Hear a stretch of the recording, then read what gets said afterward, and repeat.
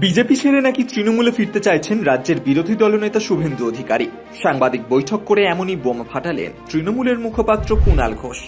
তারই দাবি ঘিরে ইতিমধ্যেই শোরগোল শুরু হয়ে গিয়েছে রাজনীতির অন্দরে। কুণাল বাবুর দাবি, শুভেন্দু অধিকারী তৃণমূলে ফিরতে চান। উনি তৃণমূল ছেড়েছিলেন বাধ্য হয়ে। বিজেপির সিবিআই ইডির ভয়ে। বিজেপিকে ভালোবেসে সেই দল যোগ দেননি তিনি। বুধবার সাংবাদিক সম্মেলন করে পুরো ভোটে বিজেপির পরিস্থিতি নিয়ে তীব্র আক্রমণ শানান তৃণমূলের রাজ্য সম্পাদক। সেই সময় তিনি বলেন, সবাই জানে, বিজেপিকে ভালোবেসে দল বদল করেনি শুভেন্দু। গিয়েছিল ইডি, সিবিআই এর ভয়ে। ওখানে এখন দম বন্ধ হয়ে আসছে তার। তাই এখানে ফিরতে চাইছেন। বিষয়টা হচ্ছে যে, শুভেন্দু অধিকারী তিনি ভাবছেন যে যে ধরনের মন্তব্য করছেন, তিনি একটা উদ্দেশ্য নিয়ে মন্তব্য করছেন, কারণ তিনি তৃণমূল কংগ্রেসে ফিরে আসতে চান বলে আমাদের কাছে খবর আছে। কাঁথি পুরো ভোটে অধিকারী পরিবারের একজনও টিকিট পাননি। রাজনৈতিক মহল বলছে আদি বিজেপির চাপেই এই সিদ্ধান্ত নিয়েছে গেরুয়া শিবির। কাঁথিতে অধিকারী পরিবারকে টিকিটই দেয়নি। এত নাকি রত্ন এত নাকি ভালো কাজ করেছে।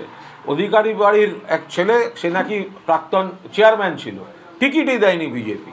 তার কারণ প্রাইভেট অধিকারী প্রাইভেট লিমিটেড তারা দলেও সাধারণ সম্পাদক পদ নেওয়ার পর থেকে জেলায় প্রবল বিক্ষোভ হয়েছে।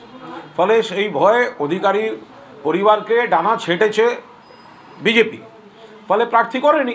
কুণাল ঘোষ এদিন সেই কথা লিঙ্ক ধরে বলেন তৃণমূলে থাকতে অধিকারী পরিবারের লোকজন মন্ত্রী সাংসদ বিধায়ক ছিলেন পুরসভার চেয়ারম্যানও ছিলেন অধিকারীর পরিবারের সদস্য।